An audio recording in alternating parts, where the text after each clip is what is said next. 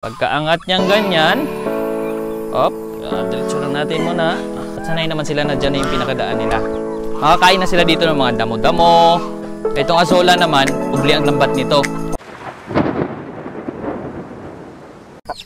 Pagising sa umaga, ito agad yung nakikita ko bumubungad sa akin. Dito yung mga alaga namin. Yan. Ayan na sila, nagaantay ng pagkain. Yan, maaga pa ngayon, no? Pero andito na sila. Nag-aabang na sila. Ayan. Bibigyan natin. Ito, may isa akong kasama dito, oh.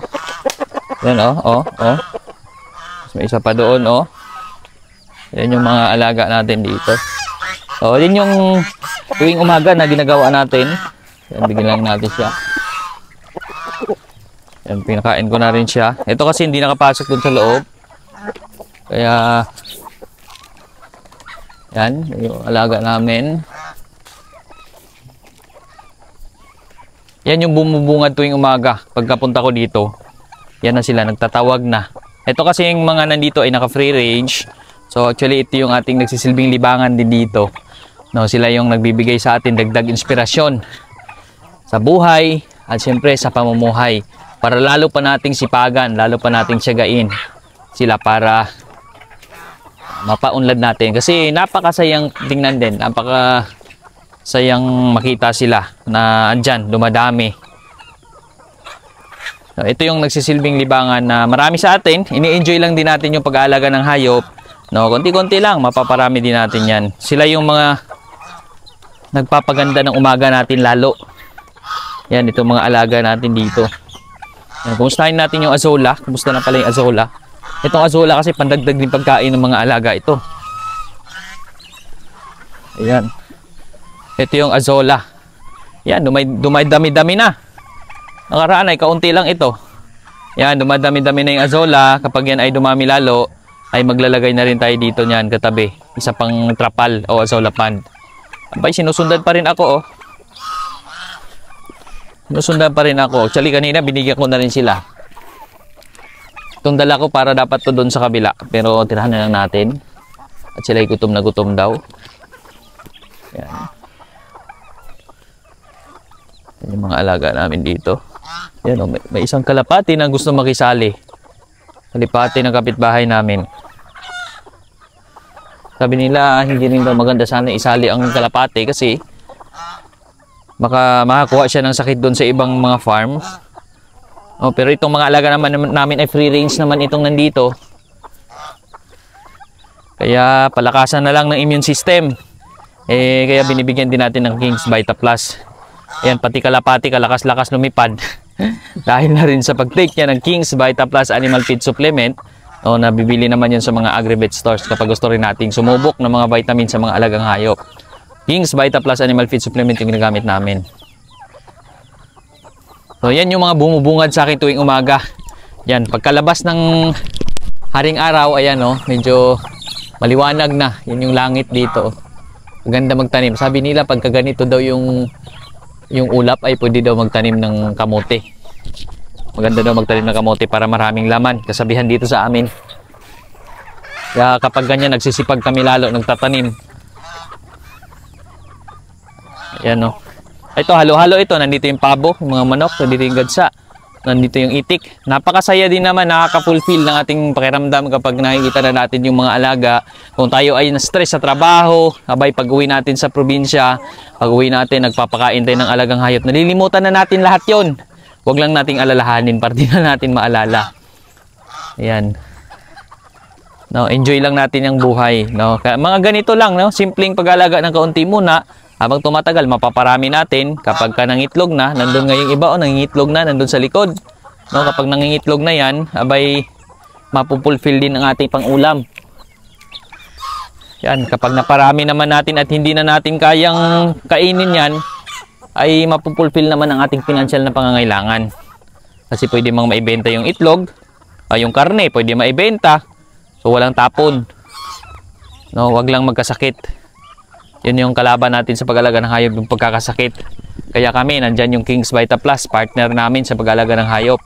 No, binibigyan namin yan daily, tuwing umaga, pagkapakain sa hayop. nahalo namin doon sa pagkain. Powder siya, kahit konti lang, hinahalo namin. Available naman yun sa mga agri stores, no? Or kapag ka may napansin kami na may mahina, no, actually, minsan di talaga maiwasan yan, lalo kapag tag-ulan, may mga ilan na medyo mahina, hindi sumasabay sa pagkain. So, yan, alam na. Ginagawa ko dyan, nahuli ko. Ang ginagamot ko yan, pinapainom ko ng Panamox, Panamox Forte. Kapag ka sisiw, hinahalo sa tubig, or Panamox Caplet, kapag ka yung malalaking manok na parang capsule na kasi yun, pinapainom doon sa manok. Panamox Caplet, caplet yun. Pinapainom ko hanggang gumaling. Minsan nakaubos na apat, lima, or hanggang pito. Yan. Pero gumagaling talaga. Kasi dati, kapag ka may alaga kami dito, no, may mga alaga kami na medyo mahina, napupunta talaga sa nakakatay. Eh sa ngayon, hindi na namin ginagawa yun dahil may gamot naman. Eh, napaka-effective naman. Napapagaling din naman talaga ng Panamox, yung aming alaga. Yan. Kapag naman tingin natin ay may bulate, andyan yung worms to go naman. Yun yung gamit namin na pampurga naman sa kanila. So, kailangan lang talaga dito sa pag-alaga ng hayop, may diskarte tayo. Hindi yung tipong mag-alaga lang tayo na mag-alaga at hayaan lang natin sila dyan. Kailangan meron din tayong ideya o alam din natin kung ano yung mga gagamitin natin na epektibo na gamot, mga pampurga, mga vitamins sa mga alagang hayop. Ayan, yung King's Vita Plus kasi, kaya yun din ang pinagkatulang ko. Kasi registered siya sa Bureau of Animal Industry. No? Tsaka, nabibili siya sa mga agri-vet stores. Kaya alam natin na maganda siyang gamitin. At marami na rin nakasubok at marami na rin nakapagsabi na talaga maganda siya sa mga alagang hayop. King's Vita Plus Animal Feed Supplement yun. Yan. Nagba-vitamin sila. No, parang tao din, no? Nagba-vitamins araw-araw. Ganon din itong mga alaga namin. Kahit konti-konti lang hinahalo, hindi naman magastos kasi konti-konti lang naman. At ang balik naman niya ay healthy. No, malulusog na mga alaga. At hindi madaling magkasakit. Hindi sila sakitin kasi nakukuha nila yung sapat na nutrisyon na kailangan nila mula dun sa vitamins. Ayan. So ito lang yung simple naming kulungan. Yan. Nakanet lang siya. Pero hindi sila nakakulong dyan lang. No, ang ginagawa namin, pinapakawalan din namin sila. Tuwing umaga. Tuwing gabi lang sila nandyan. At ganitong maaga pa. Yan o. Uh, papakawalan ko lang sila. Kailangan ko muna isabit ito sa mataas-taas at ito'y kanilang kukunin. Ito kasi para naman doon sa kabilang pabo. No? Ayan, ito. Nakalagay lang yung kahoy dito. Temporary, permanent lang itong nilagay natin. Ah, temporary, pero pwede na rin permanent. Yan. Kahoy, inaangat ko lang siya. Yan yung pinaka-gate nila. Ay, lang. Pagkaangat niyang ganyan, op, uh, diretso lang natin muna. Laglag. Tapos itong net ngayon, ay pwede nang iangat. At sanay naman sila na dyan na yung pinakadaan nila. Kaya, no worries. Yan, sumasabit lang. Oy, sumasabit lang siya.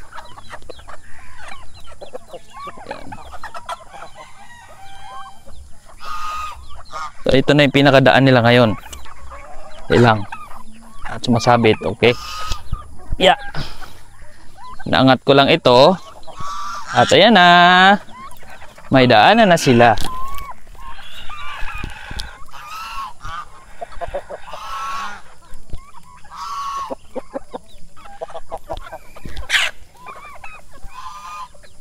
Yan. Ayan na. Yan lang yung aming pinakadaanan ng mga alaga palabas. Kasi dito sa labas, makakain na sila dito ng mga damo-damo. Yan, mas maraming damo na dito. Ayun o. Mas marami na silang available na makain dito. Itong azola naman, nakalambat siya. Yan, doble ang lambat nito. Yan, nakalambat siya ng hagwire, tapos may dinugtungan ko lang ng net. Paikot. Tapos sa loob, you know, sa loob, naka-net din siya nung maliliit, maninipis. Para naman kapag may palaka na makapasok ay hindi sila pumasok at doon mangitlog kasi masisira ang azola pag ganon. Yan.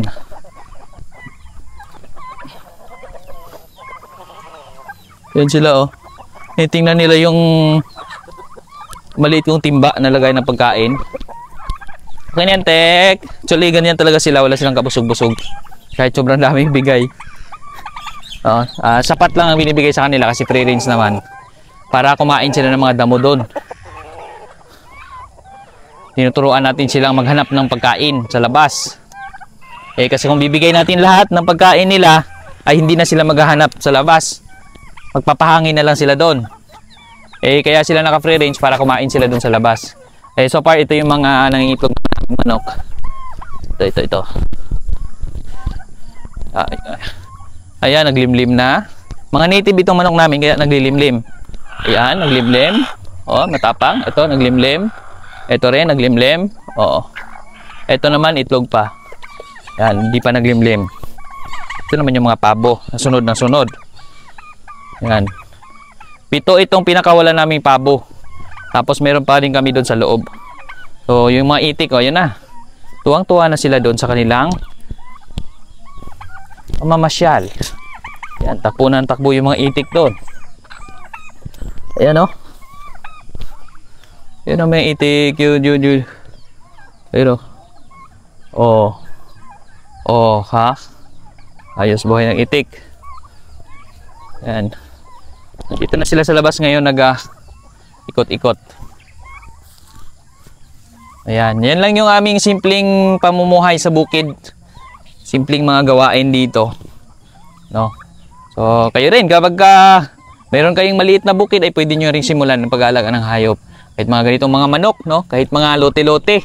Actually, pwede na mag-alaga ng mga manok, ng mga pabo sa mga lote.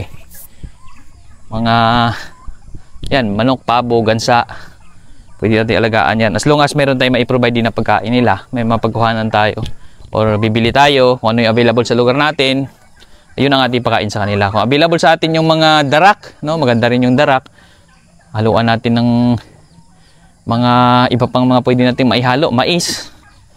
Or kung ano mang available. Yung iba naman yung mga sapal ng niyog. Actually kinakain din nila yon sapal ng taho. No? Di ko pa nakita yung sapal ng taho. May mga trigo. May mga ganun. Yun yung mga iba-iba ring papakain sa mga alaga. O depende sa pamamaraan yon eh dito medyo may taniman. So dito makapagtanim ng mais, makapagtanim ng mga kasaba, no, at iba pa, mga sirang niyog na lalaglag. Ay pinapakain din namin 'yan sa kanila kasi sayang. Kasi para hindi walang matatapon. Eh yung mga ano kasi niyan, mahal ang kupras, so nakukupra 'yan.